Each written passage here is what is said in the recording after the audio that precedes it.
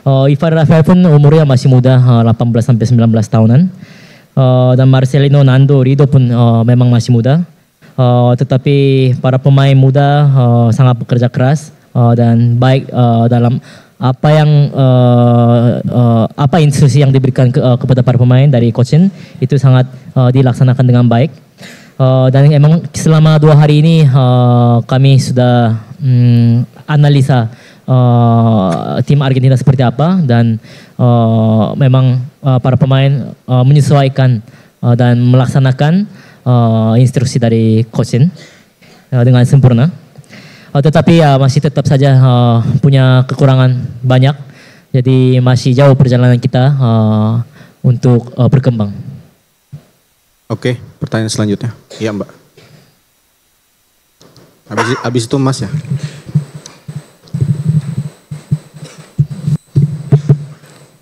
Ya, selamat malam Coach Henier dari Radio Republik Indonesia. Uh, ada beberapa pertanyaan. Uh, sebelumnya kita tahu bahwa pertandingan ini melawan juara dunia, kita tahu target utamanya adalah kita belajar dari pertandingan ini. Melihat dari penampilan para pemain timnas Indonesia pada malam hari ini, boleh tahu Coach, um, apakah Coach sudah menemukan skema yang Coach inginkan dari timnas Indonesia? Seperti apa bentuk permainan Indonesia yang, yang Coach impikan atau Coach rancang untuk Indonesia? Apakah itu sudah mulai terlihat? Kemudian uh, dengan uh, malam ini Indonesia di posisi ranking 149 melawan juara dunia di ranking 1 kita uh, dibobol dua kali atau dua gol.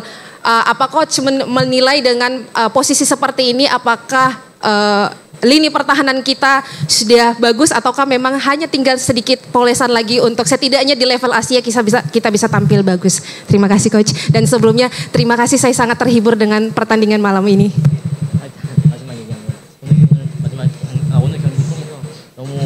즐거웠대요 본인이. 네, 그리고 이제 두 번 두 개의 질문이 있는데 일단 사실 감독님께서도 이제 배우고자 이제 하는 이제 경기였잖아요. 아, 근데 어, 오늘 플레이 하면서 감독님이 원하시는 플레이가 보이기 시작하셨는지.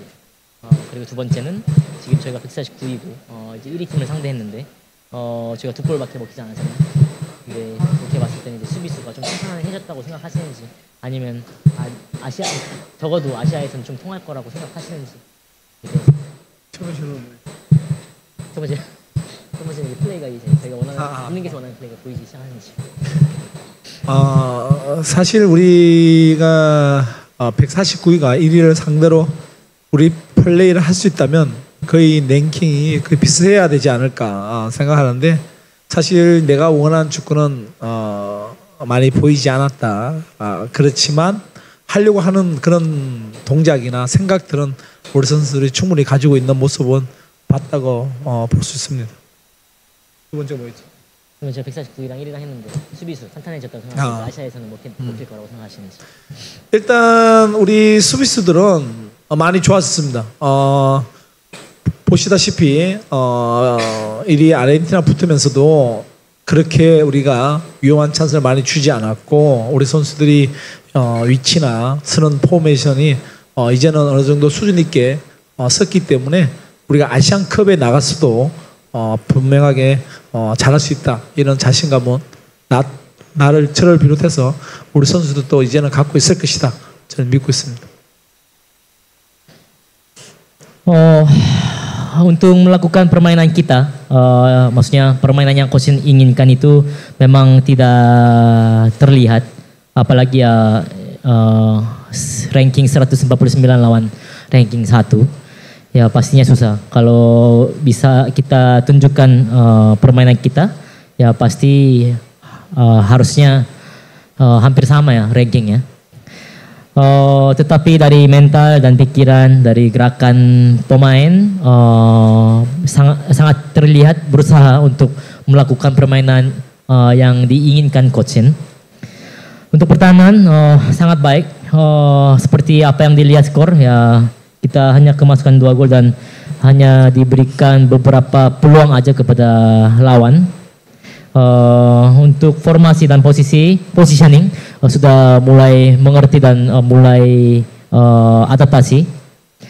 Eh, jadi pasti pastinya juga eh, coach percaya ya eh, bahwa pasti kita bisa menunjukkan yang terbaik uh, dan dapat kepercayaan diri uh, mulai dari coaching dan pemain uh, di Piala Asia nanti. Oke. Satu pertanyaan terakhir mungkin kalau ada. Oke, oke Mas.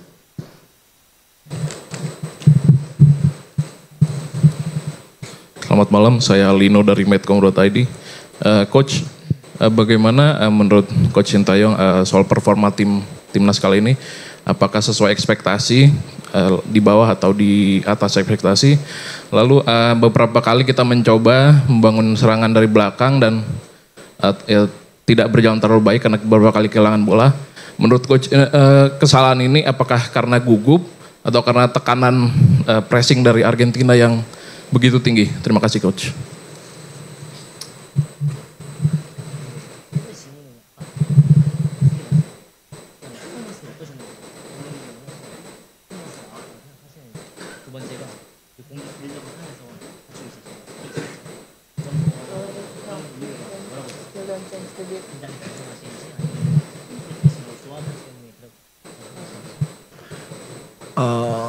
퍼포먼스의 첫 번째 질문에 대해서는 이미 우리 선수들이 최선을 다했고 어, 열심히 했다고 이미 얘기를 했었고 어, 두 번째 수비가 빌드업을 만들어 나오면서 어, 뺏기고 했던 것은 사실 대표팀 같은 경우에는 어, 수비 조직은 시간이 있어야 되는데 어, 그런 시간적인 여유가 없다 보니까 빌드업 만들어 나오는데 사실은 조금 부족했던 부분이 있었고 그리고 상대가 워낙 어, 프레싱과 맥을 잘 짚는 선수들이 포진하고 있다 보니까 우리 선수들 남대로 힘들었던 부분 어, 이거는 우리가 시간이 있어야만이 좀 더 완벽하게 만들 수 있는 어, 수비 조직을 할 수 있다 어, 그렇게 보시면 되겠습니다.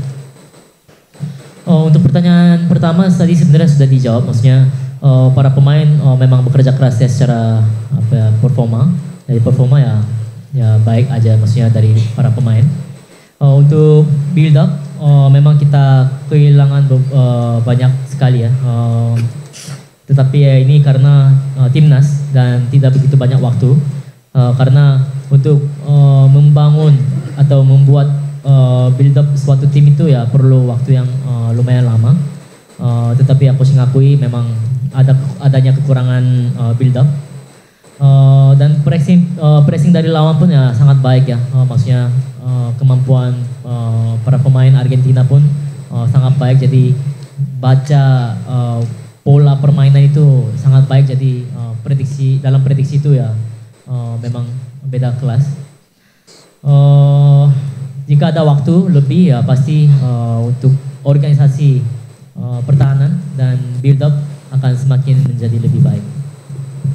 Oke, terima kasih coach. Thank you, thank you. Terima kasih ya.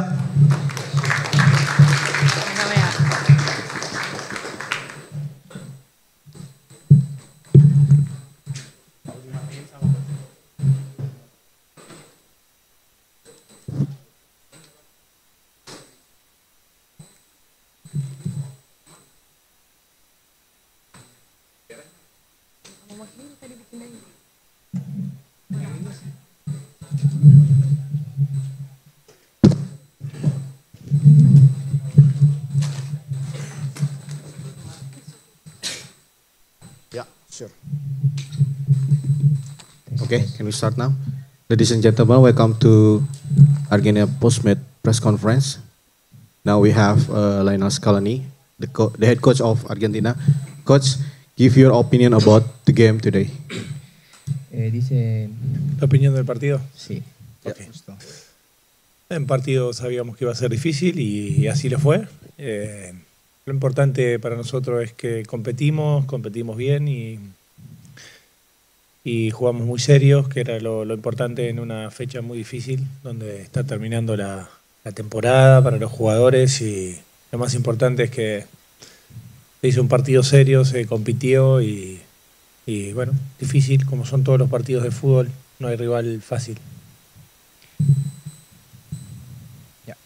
Em, beliau mengatakan bahwa pertandingannya seperti yang mereka em, pikirkan pada awalnya sebelum sebelum bertanding bahwa pertandingan pertandingannya tidak akan gampang, tetapi em, mereka tetap terus akan melakukan yang terbaik dalam setiap pertandingan. Jadi melawan Indonesia bukan sebuah hal yang beda. dan eh, untuk mereka pert- pertandingan yang tadi merupakan cu- cukup cukup sulit karena mereka kehilangan bu- bukan kehilangan mereka tidak memainkan beberapa pemain yang yang inti mereka. Oke, pertanyaan pertama. Primera pregunta. Hola coach, buenas noches. Am, ¿Tienes opinión sobre el jugador del equipo Indonesia? Ah, el- espe- especialmente jugador número 12, tiro libre largo, Pratama Rahan. Eh, ya, opinión sobre los jugadores del Indonesia. ¿Quién es el mejor? Muchas gracias. No, no, Ya, está bien. bien, gracias. No, sí. No, Bueno, es un buen equipo y trabajó como un equipo y cuando uno trabaja como, como equipo las cosas eh, se hacen mejor y no destacaría a un jugador sino a todo el bloque. Han hecho un buen partido, han jugado y han dado la cara en todo momento. Baik, pertama pertanyaannya. Pertanyaan dulu. Eh, pertanyaannya adalah eh, apa opini opini pelatih eh, mengenai lemparannya Arhan dan beliau menjawab bahwa hmm, nggak eh, karena mereka bermain secara kompak dan mereka bermain secara baik sehingga buat mereka semuanya semuanya bi- bisa memainkan bermain sepa- bermain bagus dan tidak ada satu ataupun pemain lainnya yang spesial atau apa pun itu buat dia. Oke. Next question. Mungkin ada yang lain? Otra pregunta. Oke. Eh, Mbak dulu deh. Mbak.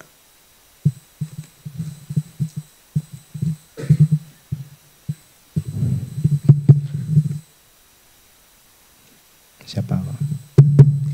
Hello Coach, I'm Nia from National Radio Station RRI. Um, pertanyaan pertama adalah di uh, babak kedua Anda melakukan uh, cukup banyak pergantian pemain.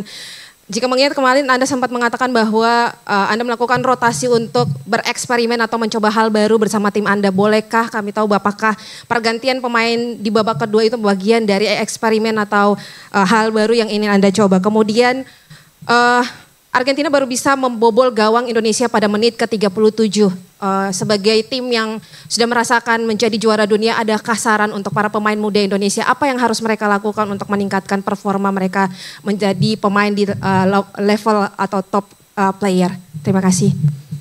Vale, la pregunta fue, eh, no, no, no has hecho un cambio hasta que el primer, eh, primer eh, tiempo, hasta que la segunda parte ah, has hecho varios cambios. Y esos cambios eh, forman parte de la rotación del, del- del equipo.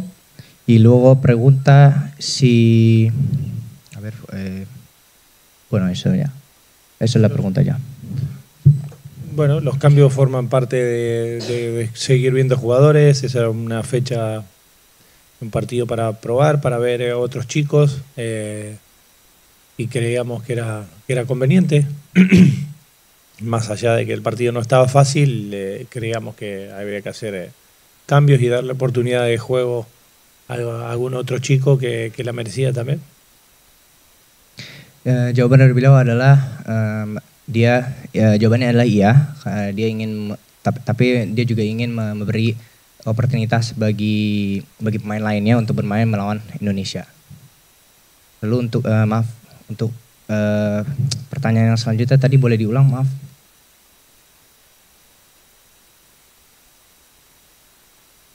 Ah, ok. Eh, si tienes algún consejo para, para dar a la selección de Indonesia No, de no, cómo ya- se juega. Han hecho un gran trabajo, de- no tengo por qué Ah. darle consejos y lo han hecho muy bien y tienen un gran entrenador. Está perfecto. Oke. Enggak, beliau, eh, beliau tidak ada tidak ada tips atau apa pun itu yang ingin dia berikan karena Indonesia udah bermain dengan dengan baik menurut dia. Oke. Pertanyaan. Eh, yang di atas deh. Siguiente. Yang di atas.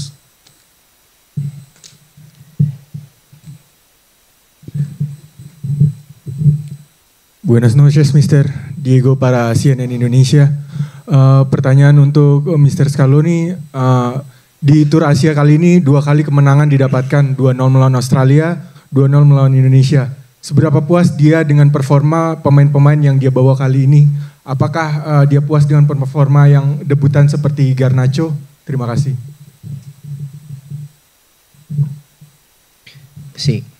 Eh, en esta gira de Asia, ¿estás eh, a gusto con cómo se juega la selección y qué opinan sobre la, cómo se jugaba eh, Garnacho para, para el debut? Perdón. Estoy contento con, con el- la actitud de los jugadores, cómo han afrontado los dos partidos. No era un- una fecha fácil, final de temporada, eh, cansados, quieren irse de vacaciones, eh, cambio de horario, eh, temperatura, humedad, muchas cosas que nos adaptamos y lo sacamos adelante.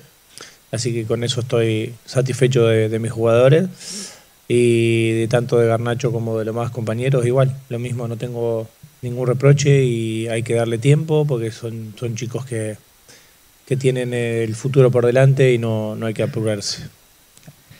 Eh, beliau ber- berkata bahwa eh, dengan banyak banyaknya banyaknya perubahan dengan em, dengan panasnya Indonesia dan dan dan cuaca di sini dan juga di di Cina kemarin beliau cukup cukup puas dengan dengan performa tim lalu tentang Garnacho menurut dia juga em, sudah baik tapi eh, beliau berharap bahwa em, pemain-pemain muda ini dapat bermain lagi dapat berkembang lagi nanti di kemudian hari Okay, one last question. Última pregunta. Yang belum pernah, yang tengah aja.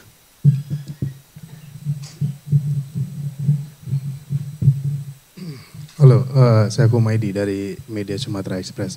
Yang ingin saya tanyakan adalah kepada pelatih, eh, Argentina tim juara dunia peringkat satu dunia, Indonesia 149. Dengan hasil 2-0 sebenarnya bagi Argentina ini skor yang memalukan atau skor yang biasa saja? Makasih.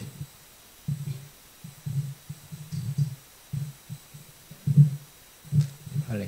Bueno, eh, como Argentina es el campeón del mundo y han ganado hoy por eh, 0-2, ¿eso para ti es suficiente o es algo que sí podéis hacer más, mejor que hoy? Bueno, eh, estoy satisfecho con la actitud del equipo, de cómo afrontó el partido. No es fácil eh, jugar acá con la temperatura que había, con la, la afición a su favor, que es una gran afición. Eh, y ojalá Indonesia juegue todos los partidos así. Es importante que tomen de referencia el partido de hoy para que el futuro pueda ser prometedor. Si juegan todos los partidos como hoy, pueden, pueden hacer cosas importantes. Oke. Em, beliau berkata bahwa eh, beliau cukup puas dengan performa tim eh, karena dengan cuaca tadi, cuaca dan juga supporter Indonesia yang mendukung timnya, dia sangat sangat bangga, eh, sangat bangga juga eh, supporter dari timnas.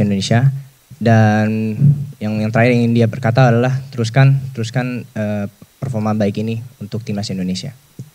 Oke, thank you very much. Selamat malam. Christian. Terima kasih sudah nonton. Jangan lupa like, subscribe, dan share ya.